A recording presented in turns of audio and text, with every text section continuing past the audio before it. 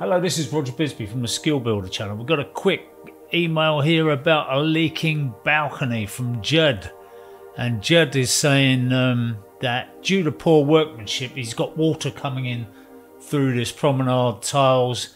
He said it's coming through the grouting. He's tried to repair some of the grouting. He thinks it's all down to poor workmanship, but he's wondering what kind of sealant he can use to seal the joints between those tiles and stop it coming through into the room below.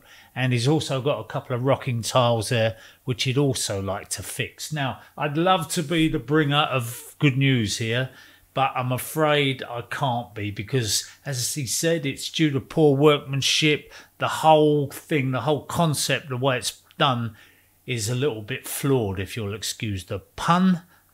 so I think quite honestly, I can't see any good solution here that is just a question of going round and filling in the joints. If you use the silicon, if you use the grout, whatever you used, I think that you would just have nagging problems. And the other thing is you don't know what that water is doing in the way of damage inside. You've got a leak coming through the ceiling, but is it rotting timbers? Is it causing all kinds of other problems? So I'd be looking to take those tiles up. They're porcelain tiles, they're not hugely expensive. There's a chance you could actually get them all up intact, or some of them intact. It depends what kind of a look you want, really. But um, let's suppose they're not very thick tiles. They're more or less like a flooring tile that's been laid on a screed. They're not that expensive. The thicker sort of tile that you would use, exterior porcelain paving slabs, really, would be a better bet. But you need to do the job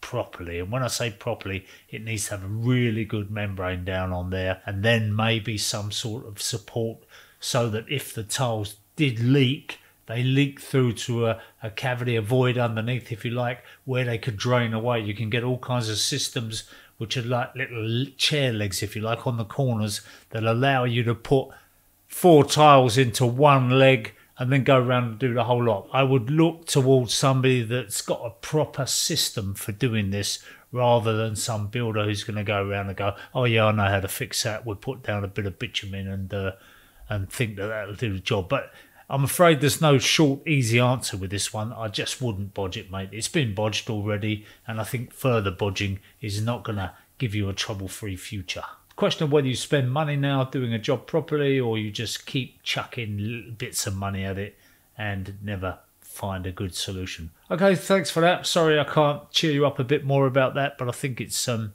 it's one of those, you know.